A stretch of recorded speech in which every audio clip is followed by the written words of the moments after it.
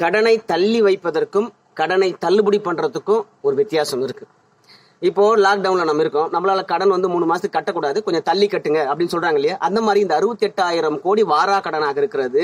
வாரா கடனை தொடர்ந்து மெயின்டைன் பண்றதோட அந்த கடனை தள்ளி வைங்க. பிறகு நாம வசூலிச்சுக்கலாம். இப்ப வர கணக்கு மட்டும் கணக்கு பாருங்க. என்றுதான் அரசாங்கம் சொல்லி இருக்குது ஏழை தாயின் மகன் பெரும் முதலாளிகளுக்கு அறுபத்தி எட்டாயிரம் கோடியை தள்ளுபடி செய்து விட்டார் என்று பொய் செய்தி சொன்னா எப்படி? எங்கேயாவது ரிசர்வ் பேங்க் சொல்லியிருக்கா? இல்ல கடன் கொடுத்த பேங்குகள் எங்கேயாவது இந்த மாதிரி தள்ளுபடி பண்ணான்னு சொன்னாங்களா? இல்ல முன்னாள் ரிசர்வ் பேங்க் க- கவர்னர் ரகுராம் ராஜன் ஏதாவது சொல்லியிருக்கா? கொஞ்சம் சிந்திச்சு பாருங்க. நமக்கு வேண்டப்பட்டவங்களா இருந்தா எல்லாரும் வாய் முடியிருக்கேன் கடனை தள்ளி வைத்து பிறகு வசூலிப்பதற்கும் கடனை தள்ளுபடியே பண்றதுக்கும் வித்தியாசம் இருக்கு.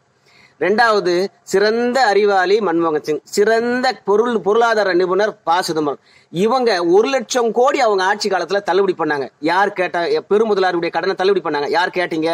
ரெண்டாவது இப்பேற்பட்ட முதலாளிகளுக்கு இந்த அறிவாளியான மன்மோகன் சிங்கும் பொருளாதார நிபுணரான ப. சிதம்பரமும் இந்த முதலாளிக்கு கொடுக்கலாமா? கொடுக்க கூடாதான்னு ஆய்ந்து கொடுக்க கூடாதா இல்ல இவங்க பயோடேட்டா கொஞ்சம் அலசக்கூடாதா? கொடுத்துட்டு இவன் அங்க ஓடிட்டான் இங்க ஓடிட்டான் இவன் தான் தள்ளுபடி பண்ணிட்டான் அப்படின்னு வர செய்தி எல்லாம் நம்பிக்கிட்டு மோடி மேல குற்றச்சாட்டு வச்சா சரியா இருக்குமா?